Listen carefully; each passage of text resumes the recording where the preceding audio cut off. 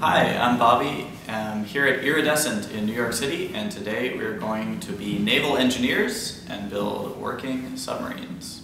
What do we have here?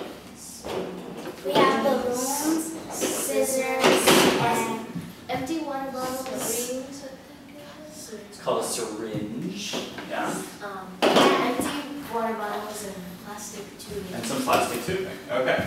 What we're going to do is make the things in the submarine that can get bigger and filled with air, or get smaller and not filled with air. And it seems like you've discovered how to do this with balloons. Could you show us that? Okay, we're going to use exactly the same principle, but instead of attaching this directly to the submarine, um, because it would be silly to have the submarine underwater with the syringes on it, we're going to just attach it through a piece, a piece of tubing. And then the tubing will attach the syringe to the submarine. Okay, so everybody should have two syringes, two balloons, and two little tubes. Now, I want to attach the balloons to the end of the tubes.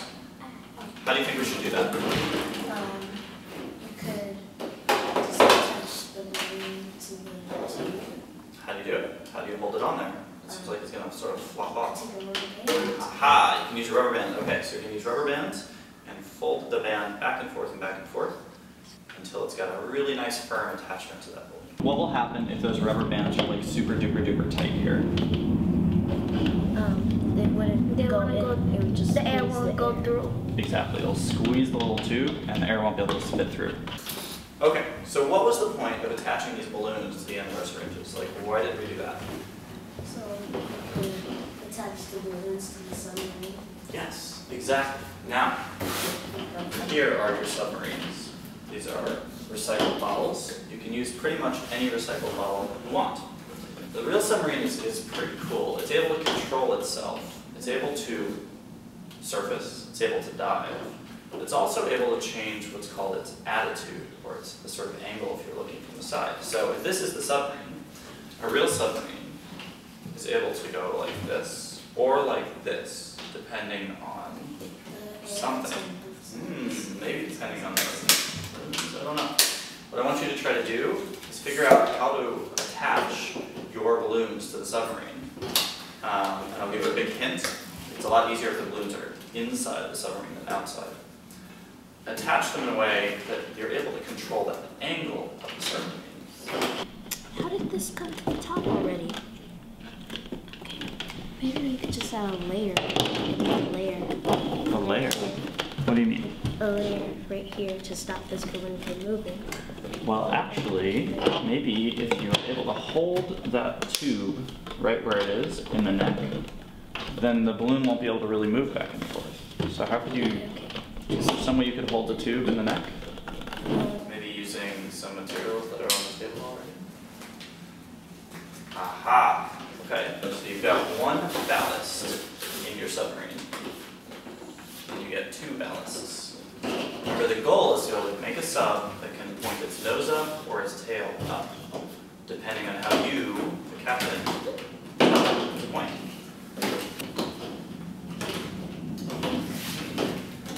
My submarine is ready. It's looking pretty good. Let's put it in the water. Let's test it. Hmm. Now, does it float? Is it sort of always floating? Is it going up and down? What's going on with the submarine right now? It's up and down. Sort of, right? So if I tell you, like, okay, Captain, I want you to put the tail of the submarine up and the nose down. Not bad. Not bad. And what if I say I want you to put the nose up and the tail down? Not bad. And now if I want you to totally dive. It's not really diving though. No. Hmm. How can we fix this? Maybe we could let the water get in. Yes, we could fill it up with water, and I, I see there's some air in there. I'm gonna try to let that air bubble out. I think we'll still have a little bit left over. If we had a little deeper water, it could get all the air out. But even then, it turns out that plastic bottles, even when totally filled with water, float. So what can, what can we do to make this sink? Um, we could try a different kind of bottle. Mm, okay, but using the same bottle, what can we add to it? Make it a little heavier, so it'll see. Wait. Yes, we're gonna add weights. That's the next step.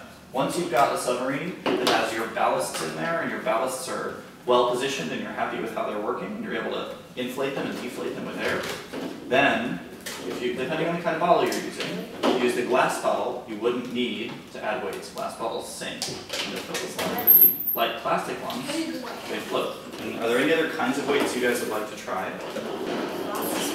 Rocks. Okay. How do you want to attach the rocks and the clay? You're gonna plop them inside. Now, what's the first step to get your submarine all ready to, to go? Fill it up with water. So it's totally filled with air. Because these submarines are plastic. What if these submarines were made of metal? Then you wouldn't need to. You wouldn't need to fill it. Nice. Okay, so this submarine can surface and it can dive. Very cool. Or this submarine has so much shifting weight inside of it that it sometimes gets a little messed up. How can we make this more stable? Add clay. To keep it in one spot. That's true. Clay, it, it stays pretty still. That's right. Put the weights on the outside. Aha! Put the weights on the outside, and we attach them somehow, then they won't be able to roll around back and forth. Ah, so you're gonna wrap the nail in tape. Interesting. If the submarine is like a circle, we're looking at it from the side like this, and there's no weight anywhere, how would it be sort of stable? It could sort of roll around like this, and then the people inside would be at their desks roll. So in fact, real submarines have weights on the bottom to keep the bottom down, just like you guys are building. That looks like a pretty successful submarine. So can you point it nose up only? And can you point it tail up only? Nice. Not- Can you surface with the tail sticking out of the water more than the nose sticking out of the water? Um. Once you've built your submarine, then it's time to try to get to do tricky stuff. Become a really good captain. Almost there, but it's it's just sitting there. It's not. It, oh, now it's all the way up. Aha, It's very bit nice. So that's called breaching the water when it sticks out of the water like that. Very nice.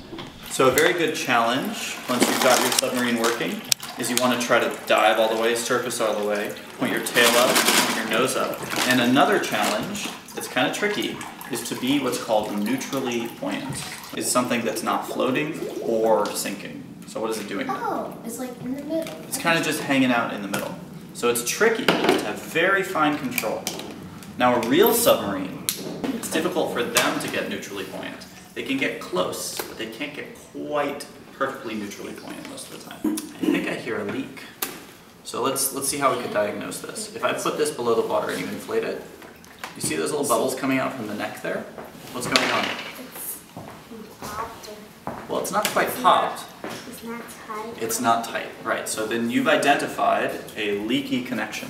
And if you make that connection more firmly by maybe tying the rubber band around it a few more times or using a different rubber band, then you'll be able to fix that leaky connection. There's a lot of water in the in the tube. Just Yeah, if you have a leak, you might end up getting some water in your tube. like That's just another sign. A couple of drips. Mhm. Of course, it'll still work with a couple drips. What if the balloon, instead of being filled with air, were filled with water? It would sink. It would sink all the time, right? Yeah. Because filling the inside of the submarine with water instead of water Uh oh. wouldn't really Filling with water. So I think There's you've a got a leak in there somewhere, Yeah, right? there's a leak. Rubber bands is the trickiest part of this. Let me It's find making a nice- smaller rubber band. Making a nice connection between the balloon and the tube is the hardest part. Making repairs, fixing problems, improving your submarine, that's the way to do it. I think I need to add another weight. And of course, the key with everything we do is once you've built it, you see how you can make it better. See. So you're adding air all the way up to the surface. Whoa. There you go, nice. So it's surfaced, okay. Wait, wait. Natural. Neutral, neutral buoyancy. Uh. Is it? It's, very, it's a fine balance. It's hard to do. You have to add a little air, take a little air out. I'm putting. Gentle little adjustments. That's how you get there. Well done. If you can get your submarine neutrally buoyant, you're a very good submarine captain. It's hard to do. Why does air float in water? Because it's less dense than water. There's no there's no weight. Well, it's not no weight. Air doesn't have no weight. A vacuum, which is lack of air, that has no weight. But um, air compared to water, like a rock compared to water, which of those is heavier? The rock is heavier. So if we had a bunch of rocks and a bunch of water, what would float? Water. The water basically floats. The water pushes the rocks. I'm sorry, the rocks push the water up. So if we have air compared to water, which of those two things floats? Air. Why does that one float? It's lighter than. Yeah, the air is less dense than water. We take this thing like you're you're swimming in a pool. You breathe out, you have less air in you. What happens to your density? You sink. You sink. And then if you're sinking in the water, that means that are you more dense or less dense than the water? Less, less dense. No, more dense. If you're sinking, that means you're more dense. You're like heavier. You're heavier. And if you breathe in, take a deep breath in, just You're like the submarine can have air inside. You're lighter than. You're not, you're lighter than the water. Yeah, you're less dense than the water. You're all spread out and you're taking up more space and you're less dense than the water. Doesn't our boat supposed to have propellers on it? Okay, so does a real submarine have propellers? You bet. It really does have propellers. Um, we haven't added any propellers to ours. That would be a good second project to add propellers to this thing. And actually, um, I didn't mention it, but propellers and the fact that a submarine is able to push itself forward is an important part of the way a real submarine is able to go up and down. A real military submarine, if there was a problem with the bladder system and they were having trouble, for instance, surfacing, they could still push forward through the water and sort of change the, the angle of the fins on the side. They're called control surfaces to sort of push it up towards the top. Or if there's a problem diving, push forward and push the submarine down into the water, just like steering a car, sort of steering it down. Our submarines have no propulsion system. They're not able to push themselves forwards and backwards, and so they're not able to use that trick. In a real submarine, Yeah. how would they extract the air from the the the? So a real submarine has these large tanks, these ballast tanks, that can either be filled with air or with water. A submarine can choose. In the same way that your tanks can take up less space and the water just fills the space that the tank was in, or the tank can get bigger and fill that entire space with air. So, in a real submarine, there's a big tank, and let's say the submarine wants to surface. Is that tank filled with air or with water? Air. The ballast tank is filled with air, and then the submarine goes up to the surface, just like yours do. When they're filled with air, they rise. Then the submarine says, okay, I want to dive, I want to go below the surface now. It lets the air out of the tank and it lets it fill up with seawater. Now the submarine is, it's, it's lower, it's below the surface, it's, you know, 200 feet down, and they want to go back up. How can they do that? What do they need to do to their ballast tanks? Empty the water. Empty the water and replace it with what? Air. With re- but how could they replace it with air if they are themselves underwater? They're not near the surface. How are they going to do that? They that? could extract the air from the water. Mm, They could send a long straw up to the surface, but they don't. They're not able to do that if they're very deep. So what can they do if they're very deep?